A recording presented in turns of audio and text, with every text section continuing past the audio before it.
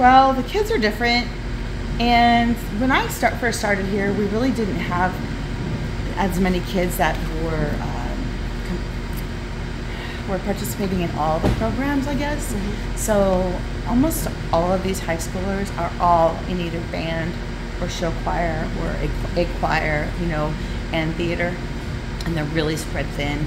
I mean, not that our kids didn't do other things back, you know, then, but they weren't spread as thin, and and uh, it's been it's been a rough fall for these kids. Like they've been so so busy. So there's been like a lot of overlap, and they they they've been a little stressed and stretched really thin, but they've been troopers. They've been great.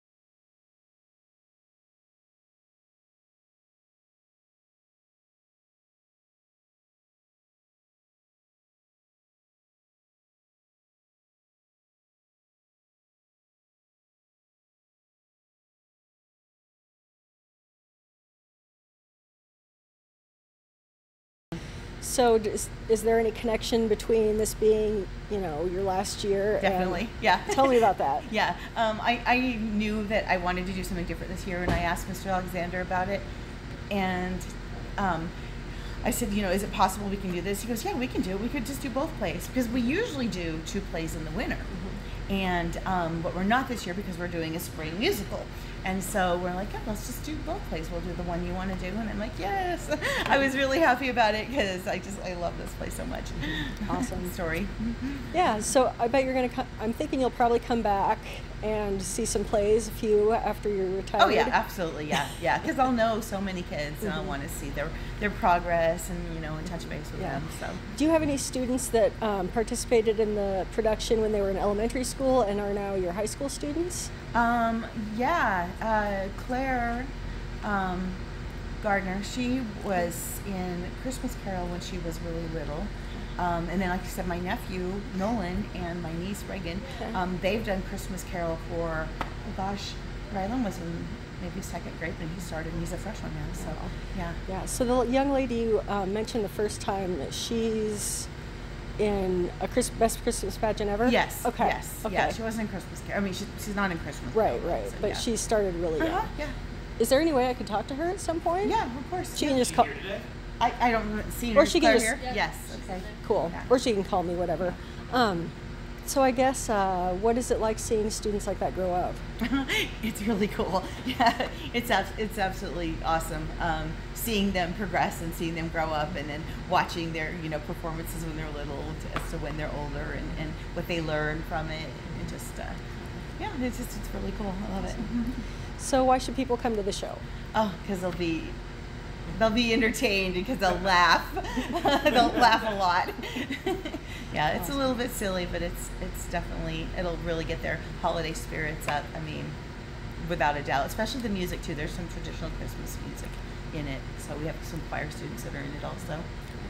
And did you have any assistance from the music department for that? Yes, um, actually, Bobby Jacobs, um, who is the, the orchestra teacher, um, also helps his dad with band. He um, directed the, the kids and helped them on Tuesdays. They did a short choir session and learned the songs. Nice. So yeah. Awesome. Lots of collaboration. Yeah. Oh yeah. Between absolutely. buildings, yep. between yeah, I love it. Yep. So well, anything else you want to say? Um, no, I'm just really really excited for it, and I can't wait for people to see it.